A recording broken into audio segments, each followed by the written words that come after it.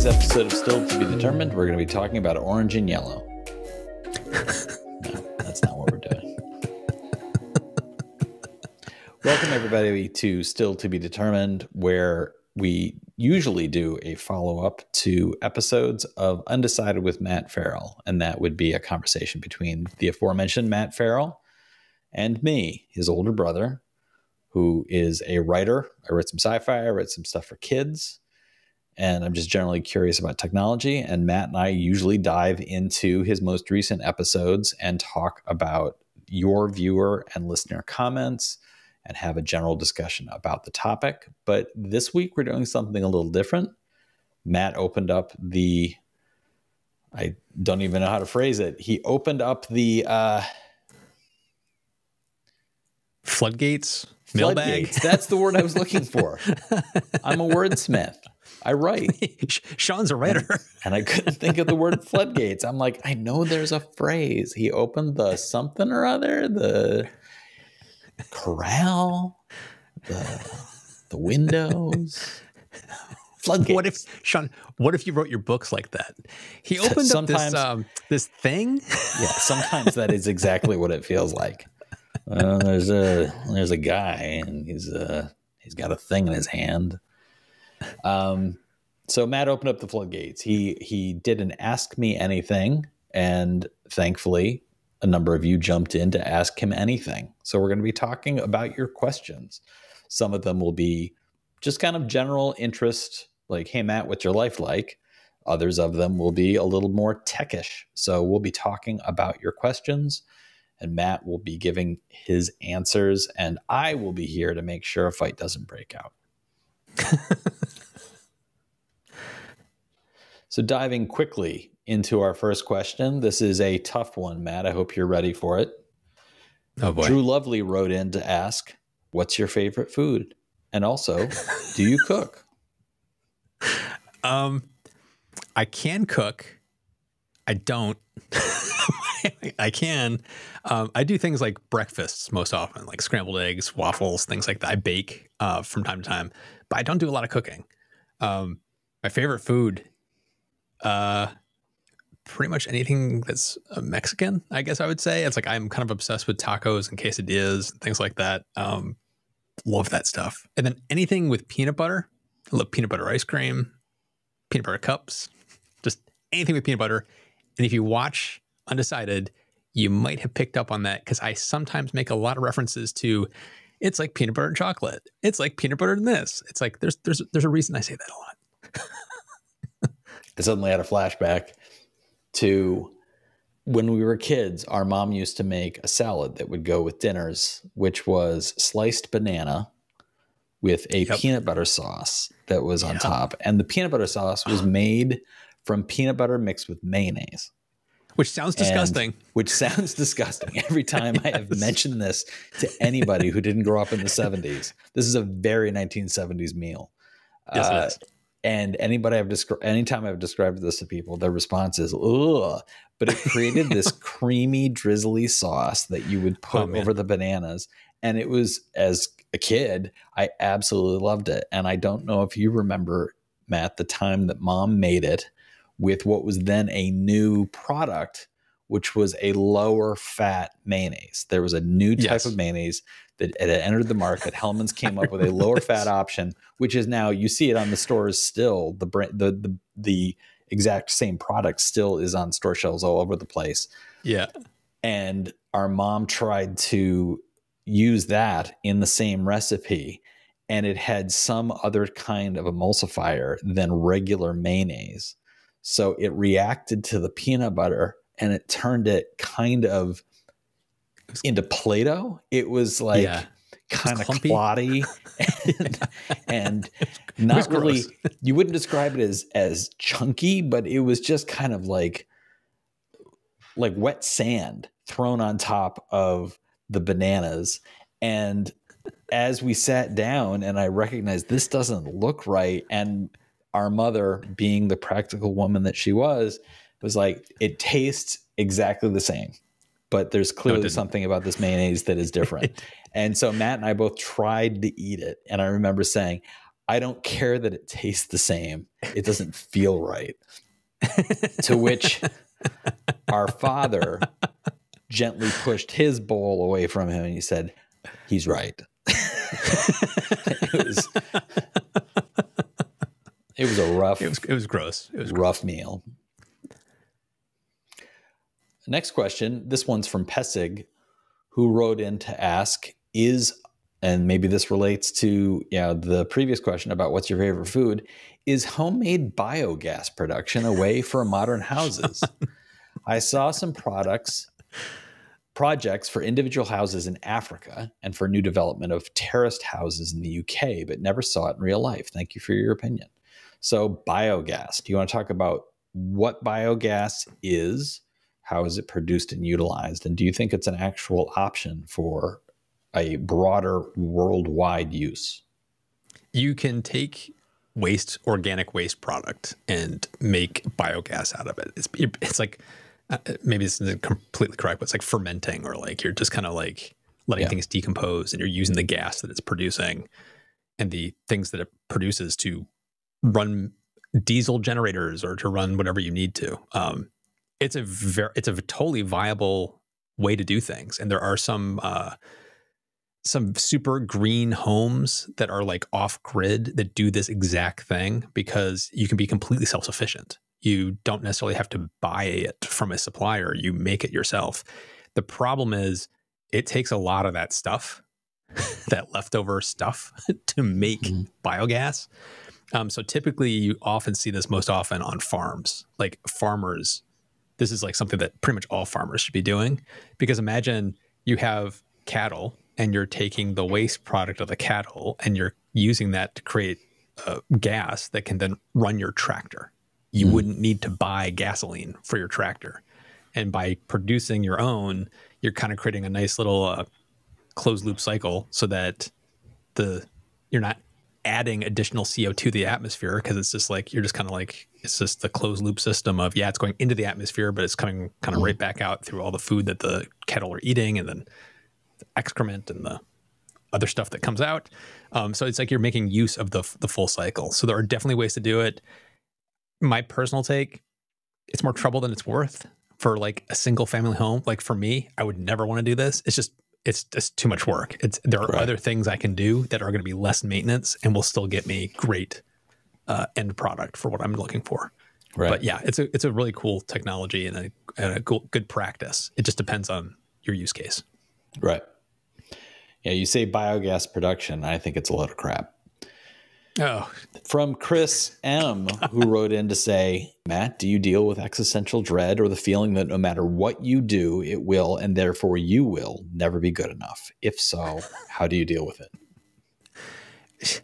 I don't know if you feel the same way, Sean. That's just my life. that's that's what it means to be a Ferrell. You've asked the right people. That's, right. that's my response to this, Chris. You asked the two people who can answer this better than anybody else on the planet.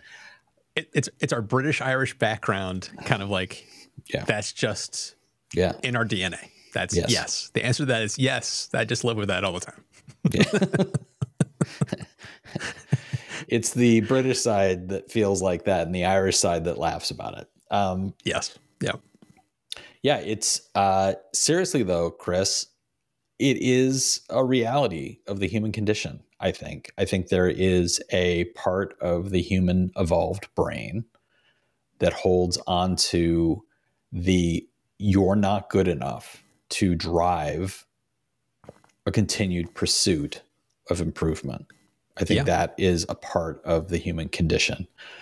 And I think that it can be exacerbated by circumstances of lived experience. So I think there's a part of the brain that just is ready to fire that message out. And then there's our lived experience that sometimes triggers it to overproduction. And then there are other times where lived experience helps mute it. So somebody with a particularly troubled childhood might have that signal override most other messages. Somebody might have a physical condition that drives that message too often.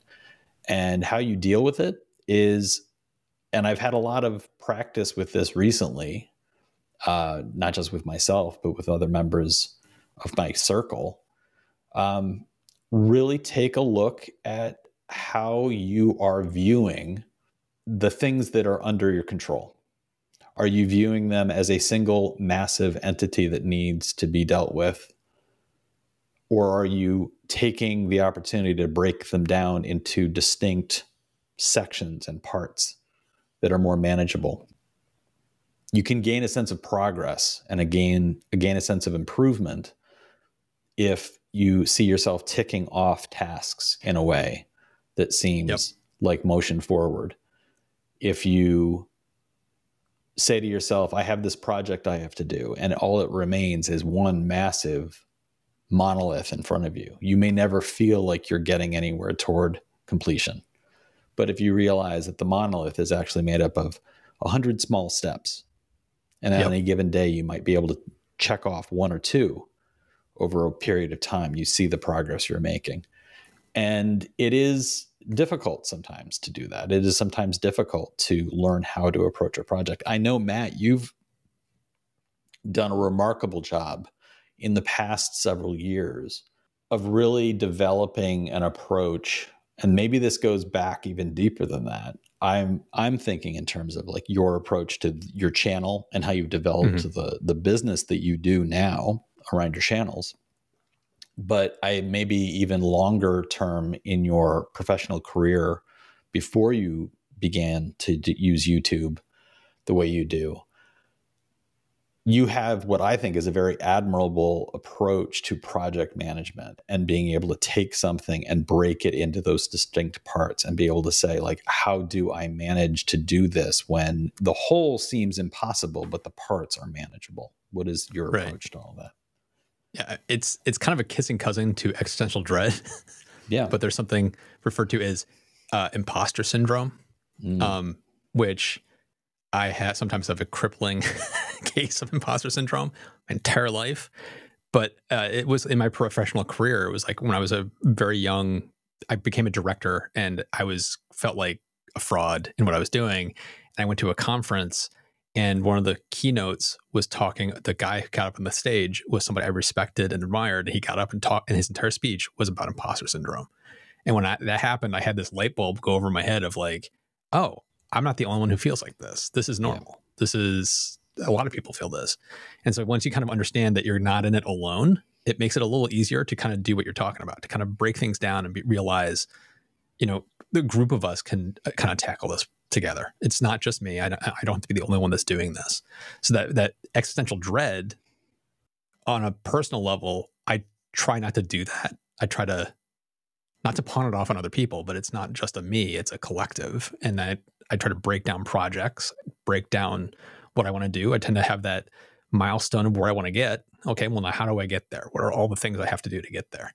And then just come up with a list, prioritize it, just start chipping away at it. And you'll see before you know it, you're making a lot of progress along that path.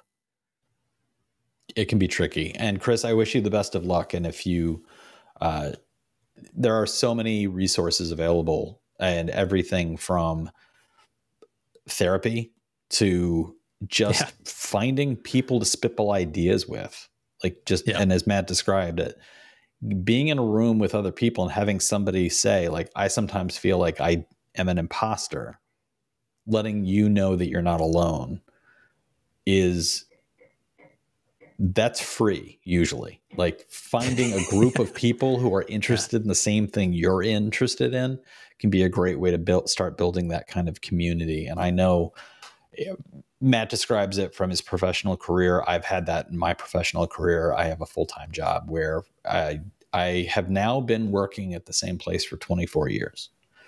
And I was talking with a colleague recently, and I said for the first eight, I thought any minute now I was going to get fired. Yep. And it was eight years. Uh, unnecessarily looking over my shoulder, thinking like, when are they going to find out I don't know what I'm doing? And I said that to somebody who had now been doing the job that we do for six years. And she said, in a moment of like anxiety, she said, I'm just absolutely convinced I don't know what I'm doing. And I said, I know exactly what you're talking about. I felt that way for the first eight years of my career here.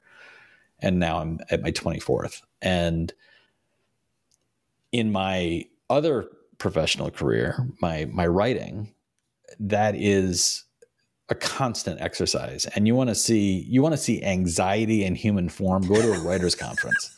Yes. It is a marvel of uh, there's a uh, a line from a David Foster Wallace story in which he says, I went to a graduate writing program where anxiety and neuroses is like oxygen. And that is such a truth that you get yep. into a room full of writers and every single one of them is convinced that everybody else is producing and they alone are the fake in the room. Uh. So a writers conference might as well be called a fakers conference. Um, and you want to talk about having to do long term planning around existential dread, try writing a novel. It's it's an exercise in that, and it really forces the approach of, okay, I want to write 300 pages of words, but before I can do that, I have to write one. And so you are effectively training yourself to not write one 300 page project, but to write 300 one page projects. That's how you get to the end. So, yeah, whatever is this, you're this, dealing this, with. Yeah. So this applies directly to like sustainability, renewable energy, and stuff like that. Like if you want to live in a house that's a net zero home, but you can't afford to do it, that doesn't matter list all the things you'd like to do and like are there any on that list that you could do right now that are affordable or that you can do yourself it's like you can just start picking things off one by one to start working your way towards whatever goal it is that you want yeah so whatever it is you're dealing with chris you're not alone in it and look for the group of people who are headed the same direction you are and start sharing yep. some of your thoughts and you'll hear back from a lot of them they're dealing with the same thing you are best of luck Keith Fleming writes in to ask for a deep dive on automotive cybersecurity, specifically focusing on Cybertruck's Etherloop, the potential threat from that, from a bad actor, is something that they are concerned with. So that's more of just like put a pin in it for you. Yeah. Uh, is cybersecurity around vehicles something that is on your radar as a possible topic? it wasn't for vehicles, but cybersecurity is something I'm very interested in across the board because I'm really into smart home tech.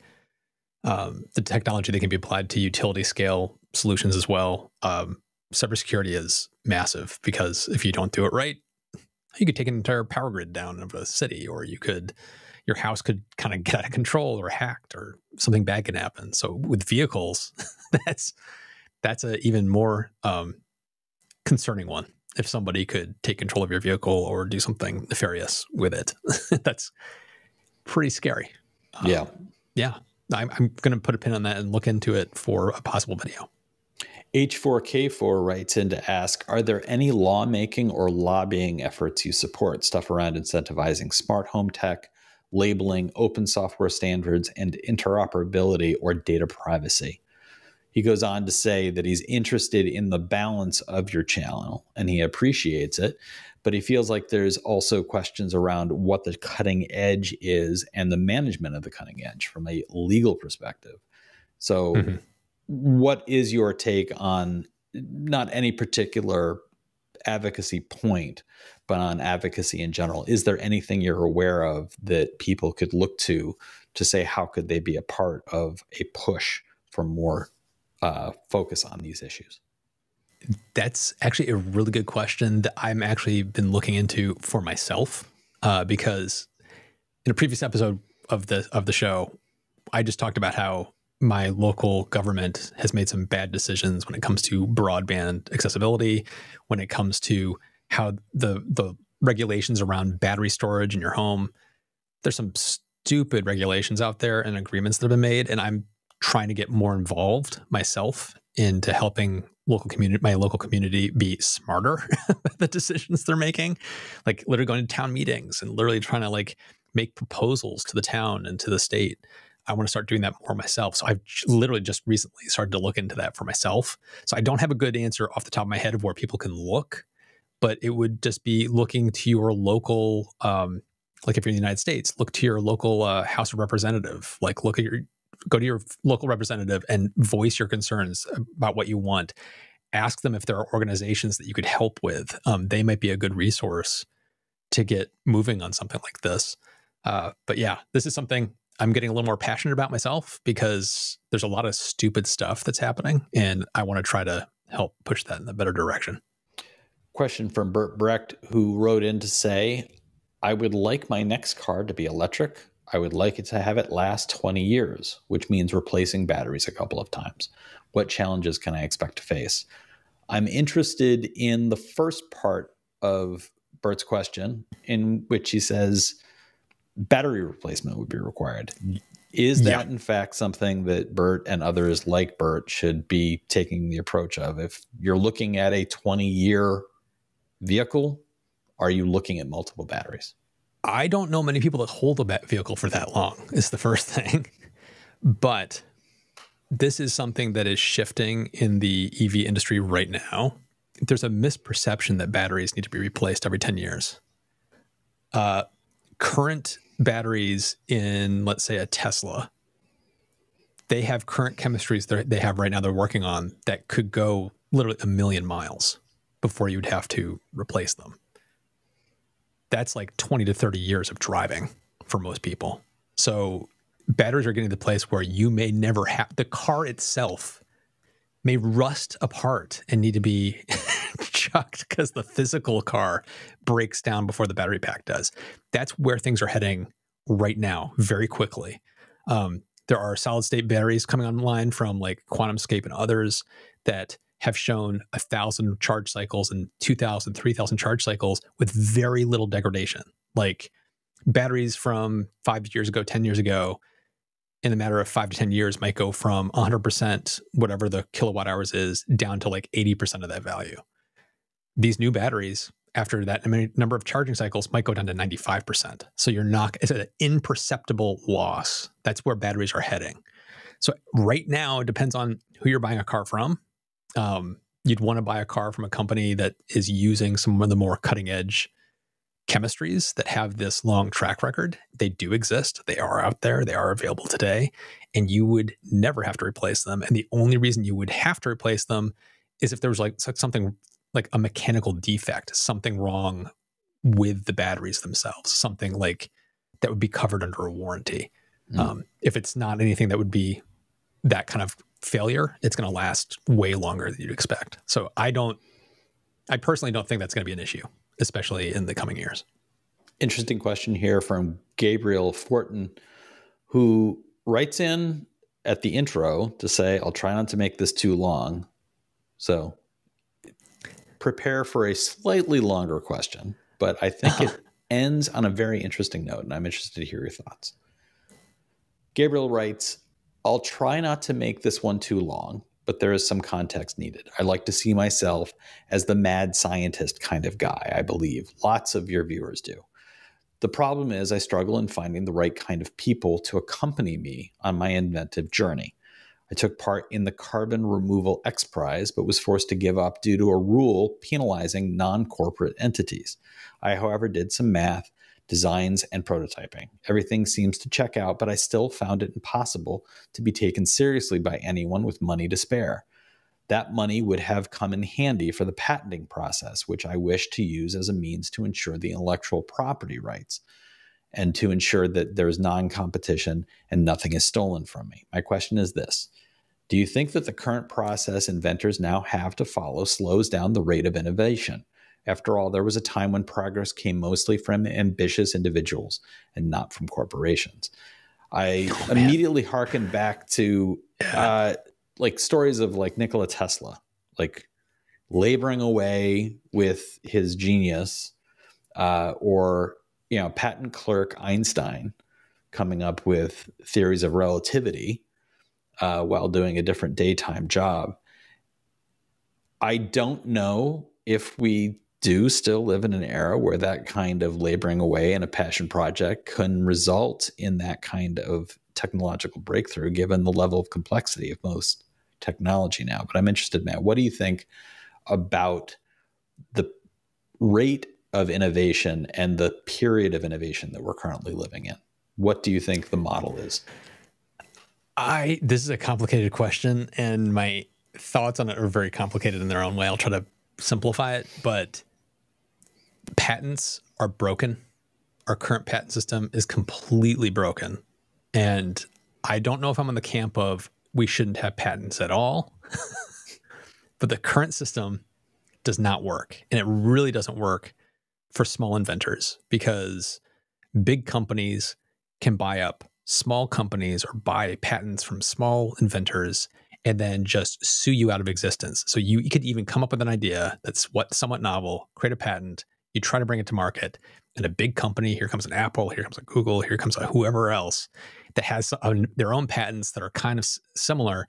They have deep pockets and t- dozens of lawyers that will sue you out of existence and squash your patent to get it knocked out.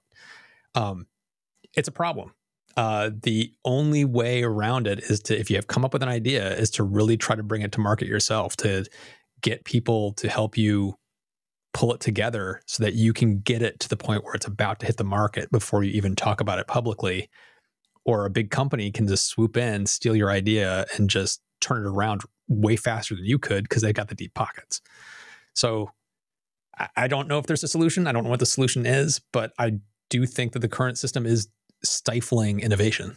I really do. It's it's the big companies just have the deep pockets and they can just basically do whatever they want at this point, unfortunately. Not a happy answer. Not a happy answer, answer, but an honest one. And yeah. yeah. And uh, Gabriel, best of luck with with the projects that you're working on. I uh, I yeah. You know you're already demonstrating that you're online because you posted this comment. Um, I would hope that you are part of maybe there's innovators forums maybe there's forums where engineers and professors and and people in the same sort of mind space that you're in are sharing ideas and thoughts and plans not in specificity around their own projects but about how to pursue them maybe yeah. there's a place for you in there this question from rob langley is a short one you mentioned your team can you introduce them to us? Oh yeah, yeah. this is something I have to do more. Um, I have a team of six kind of core individuals that help me with the channel. Um, I have two video editors. Uh, one is Sunny. He edits all of my videos for Undecided. So if you like the editing style, that's all Sunny. I love the guy. For the podcasts like this one, it's edited by Peter, who's actually a friend of Sunny's. The two of them are good friends. Uh, Peter does all my podcasts, YouTube shorts, things like that. Um, and then for production, um, there's a gentleman named Lewis who's actually he's from the UK but lives in Poland.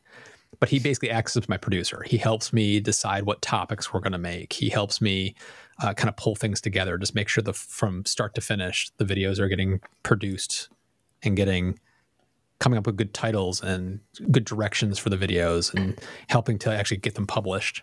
And related to him is another gentleman named Ali, who's kind of our virtual assistant.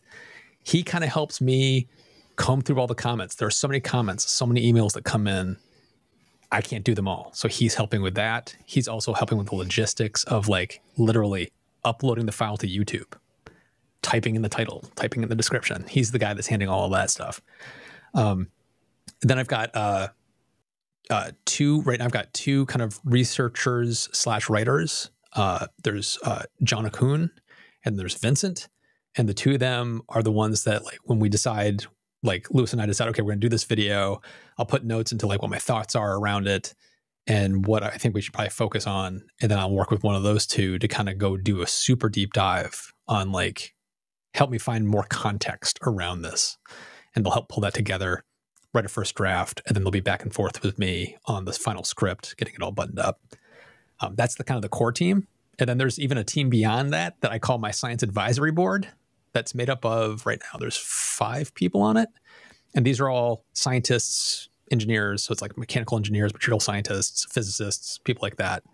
Um, some of them work in the industry. Like one of them actually works for a major wind turbine place. Um, so it's like I have people that work in different industries, have different backgrounds. And so when we're pulling stuff together from the very beginning phases, it's like, okay, we're looking to this battery. Here's what we think about it. Well, let's pull so and so in from the advisory team to see if they can kind of help us tease us apart to make sure we're not misunderstanding something or if they're finding something else out that they think we might want to highlight. So we have a group of basically experts that we can refer to uh, to help us kind of button things up. So there's a fairly large team that's mm-hmm. working on undecided to make this all work.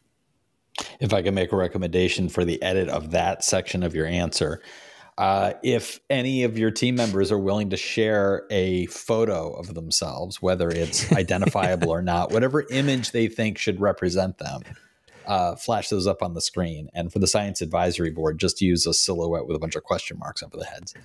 Um, another short question. This one from Maxwellian, who wrote in to ask, "Are you sure Sean isn't your twin?" Hmm. if we are in fact twins, Max, it was the world's worst and longest labor that our mother would have been in.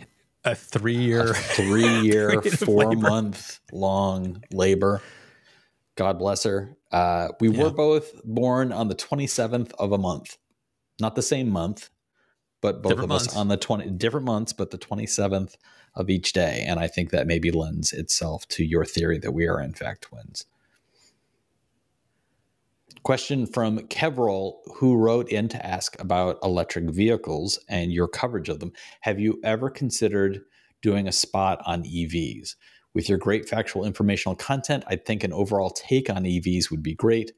I look for really great deep content and out of the box insight and data. And it's interesting, Kevrel, that you suggest this. How long have we been doing this now, Matt? This is now three years. Three years. Three years. I think it's three years. Yeah. yeah. Uh, three years ago, much of our content was around electric vehicles. That is sort of mm-hmm. how this all started for us with our conversations focusing on Matt's videos. And Matt's videos at that time tended to focus, it was very pre him building his new home, him doing all the tech, and also three years. And, and it's, I, I do think this is true. Three years a lot of new developments and new technology has emerged into yeah. the market from solar panels, wind power, water power, battery storage. Like there's been massive changes.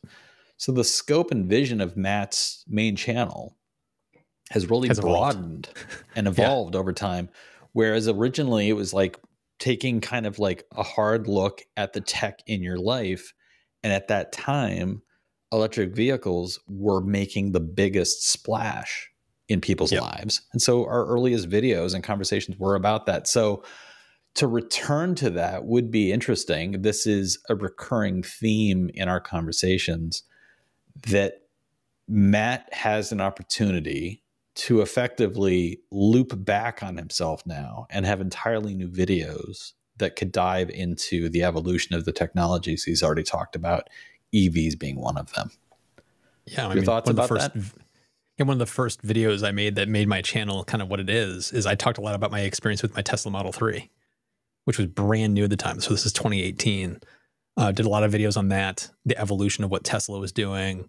And then I kind of, like you said, gravitated towards bigger, broader topics. So I kind of moved, not moved away from EVs. I just stopped talking about them as frequently, but it's still something I'm very passionate about. Um, there's been a lot of really interesting stuff happening in the EV market, especially around like charging infrastructure and standards that are really going to push things forward and make EVs far more accessible to everybody. Uh, new the battery technologies that are going to make them last longer, like we just talked about, the batteries that can last 20, 30 years in an EV. Yeah. It's like that kind of stuff. Um, I'm still very focused on and looking at. So I I probably should make an EV video every once in a while because it's still something that is definitely a passion of mine just a little anecdote uh, about electric vehicles. When we first started this channel, Matt and I would talk about EVs. Seeing an EV, I live in New York City.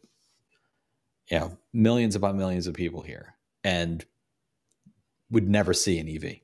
Like you mm-hmm. just didn't ever see them on the street.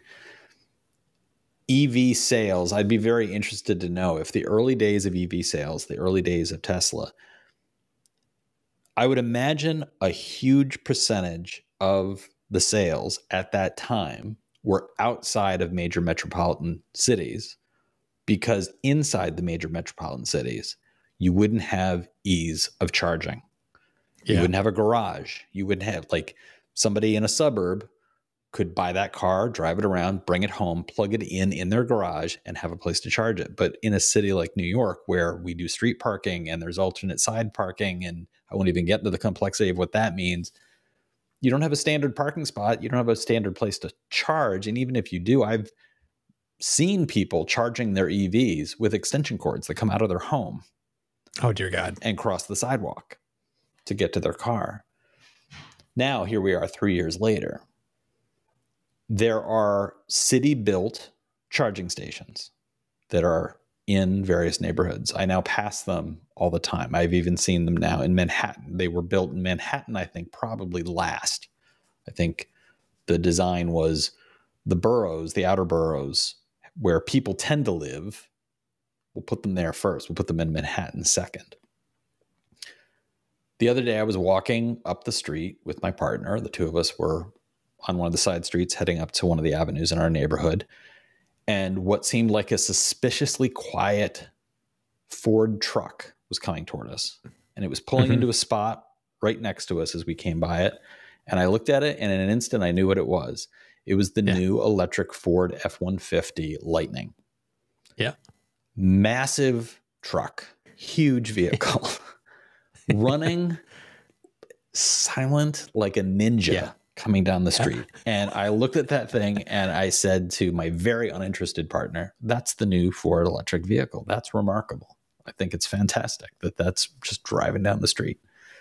It's going to make a quieter city. it's going to make a quieter city, but it made a, a, an impact on me. It's like these things are not just real, but people are interested in them. Here's this person in the city driving around with a Ford F 150 doing all the stuff that a truck person wants to do and it's yeah. electric vehicle so it's a it's a diff three years doesn't seem like a big span of time but it has been it's been a big yeah, for, it's been a big span of time yeah for me it was like around my area it was like i started seeing teslas everywhere just teslas it's like but there are other evs but i'm never seeing them just this past year i see hyundai Ioniqs everywhere. I'm seeing more Ford Mustang electric vehicles everywhere. It's like, so I'm seeing way, way more non Teslas around and it gets me super excited. It's like, okay, we've, we've kind of hit a turning point now where it's, it's not just yeah. one company that you're seeing out there. You're seeing a bunch of different cars and EVs and even in kind of more rural areas. I don't, I kind of live in a suburb, but more rural. So it's like, even out here, it's like I'm seeing them all over the place. So it's it's definitely a very different landscape from just even a few years ago. Final question here from Robert Roberts, who writes in to say, I would love an episode, a kind of deep dive into PoE, power over Ethernet. I'm interested in how you wire something up. What is it actually controlling? And how are you providing electricity to the device? For example, lights, TV, computers, kitchen appliances, whatever. Right. So PoE so, over Ethernet. Yeah, it's usually power over referred to as PoE. PoE. PoE. Yeah. So PoE is something that is going to become more and more popular in the coming years, especially in the home market. Um, there's companies that are coming up with kind of geared towards residential, commercial buildings, that kind of thing. There's this is already kind of big in commercial buildings, but it's going to get more and more into the residential market. There's a startup called LumenCache that has a really interesting system that's very modular, very easy to install, you're not going to be running appliances off of most of the stuff that I'm talking about. It's going to be more lower voltage stuff. So lighting is like the big thing that would probably be running off of this. And it's not that you can't run bigger appliances off of it. It's just it's going to probably start with the, the lower end of things first. Um, for me in my house, I was I considered doing PoE for our lighting system, but it's so early days for the home market. There weren't a lot of options. And as soon as you figure out an option, it's like you're kind of limited into like what kind of light switch do you get? What kind of bulb do you get? You really start to get limited pretty quickly as to what you can do. Um, that's going to change very fast. So if I was building my house three years from now, it would probably be a very different answer. I probably would be doing it because um, it's a very efficient way to do things. But I do use PoE for the camera I'm actually talking to on right now. my studio camera is PoE powered. It's just one Ethernet cable comes out and plugs into the wall, and that's all it needs. Um, my security cameras on my house use PoE, so it can do it can do a lot beyond that. But um, I think we're in the very early days of that becoming a thing. Thank you, everybody, for your questions. As you can tell, uh, your comments are usually a big driver of our program and of Matt's main program, Undecided with Matt Ferrell. But in this episode in particular, they've been the heart of the content. And so thank you for your response to Matt's call for questions. It's been great. And I think we'll be doing this again in the future. So stay tuned. Uh, keep your ears open for the clarion call to send us your questions. We can't wait to hear what you have to say. If you'd like to support the show, please consider leaving a review. You can leave a review wherever it was you found this podcast, whether it be YouTube, Apple, Spotify, Google, wherever. Go back there, leave a review. Don't forget to subscribe, and please do share it with your friends. All of that really does help support the channel. And if you'd like to directly support us, you can click the join button on YouTube, or you can go to stilltbd.fm, click the become a supporter button. It allows you to throw some coins at our heads. They hurt, yes, but we've got ice and then we heal and then we make the podcast. And with the makeup, you can't even see the welts. Yeah, not a one. Thank you so much, everybody, for taking the time to listen or watch. We'll talk to you next time.